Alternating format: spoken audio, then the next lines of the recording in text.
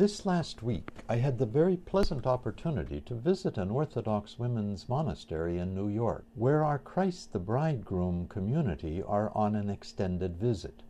When I returned home, I was greeted by a publication of St. John's University School of Theology, which included an article about what is called a new monasticism.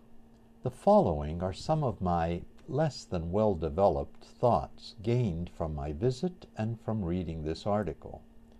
The new monasticism is a movement of, quote, intentional Christian communities, unquote, reminiscent of the communes of the 1960s.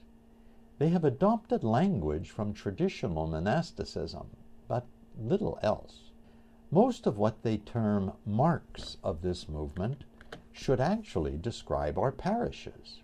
For example, hospitality to the stranger, submission to Christ's body, the church, fostering community and support for singles and married, living relatively close together, commitment to prayer and worship, opportunity to be separate from worldly cares. In contrast to this was the monasticism I experienced in New York.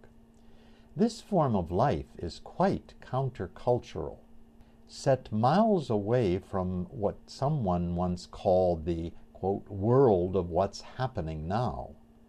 The nuns have welcomed a form of life that could not be adopted by most, but that should be a model for the rest of us. The separation from the worldly and contact with the earthly, which we all experience during divine services, allows for an intimacy with the divine and with the whole of his creation. The walls of their cloister are solid but porous, allowing them to shut out worldly cares while permitting their life to influence the lives of all.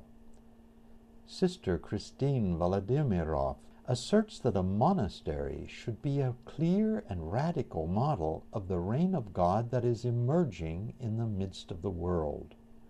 Having focused on marriage last year, the kingdom of God, especially from the focus of monasticism, will be our eparchy's theme this year.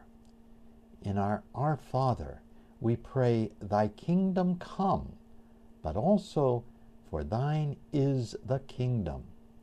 The kingdom is already here, but not fully. We'll continue to rely on our nuns and monks to help us to know how to help build God's kingdom in the family, in the parish, in society at large.